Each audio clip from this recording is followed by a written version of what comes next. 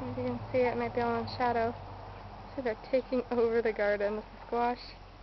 Back there is the cucumber, tomatoes, peppers, and then the um, cantaloupe and watermelon that hopefully the grass will die soon. And then my little strawberries. I wanted to show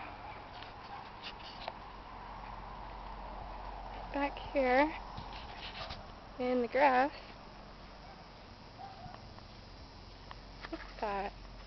There's mushrooms. That's so funny. I think it's funny. I don't know what kind they are, but I know they're poisonous because we don't grow good mushrooms to eat in backyards like that. I wouldn't eat them anyway. Do the cicadas? There's one in my tree somewhere, I don't know.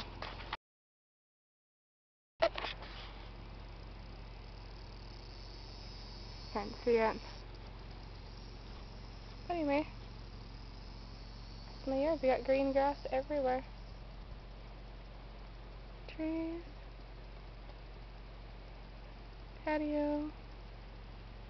Garden. And the lemon tree. Can't believe that squash though. So huge. Peas are right behind it. You can barely see those. Even see them at all. Let's plant some green onion. The roots I cut off from the ones from the store, they're coming back. I'm going to have those soon. I did plant marigold. Those are also getting big. Here's a little tiny pepper plant, the one little tiny pepper plant that um, bunnies and then the birds are eating. Come back. But that one hasn't grown much from that one. Waiting for that one to flower. That watermelon vine that was taken over. Can't wait till I get watermelon and cantaloupe. Alright. Oh, do you see my strawberries? If you can see them or not. I've grown a lot of strawberries there. So that's my garden.